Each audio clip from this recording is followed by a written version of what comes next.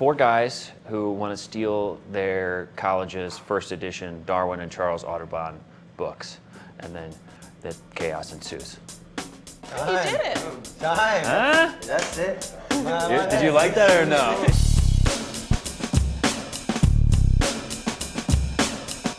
So Bart, tell me why why this story, why you wanted to tell it. Uh, I think initially it just seemed like a, a great and bizarre sort of caper. For me, it was a way into talking about this slightly lost group of young men who were searching in all the wrong places for an identity. What was something you took away from this film in particular?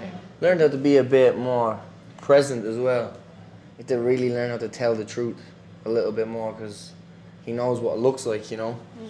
So I mean, that's what I learned, just to be a bit more true and, and present. Mm-hmm. Yeah, I agree. To, to do less, I think, something that I took away from, from this for sure. I mean, for me, I'd never worked on something where the stakes, you know, became, you know, so high at a certain point. So like Bart kind of gave us like, you know, the sky being the limit mm-hmm. inside of a character with a with an ensemble. Pitches online for this movie it mentioned like these guys think their life is a movie. I guess is sort of how it was described on the Sundance site. They got caught up watching so many movies, Yeah. you know. So mm-hmm. like to get themselves hyped up to pull off the heist, they'd watch all these heist movies like Ocean's Eleven, all that kind of stuff.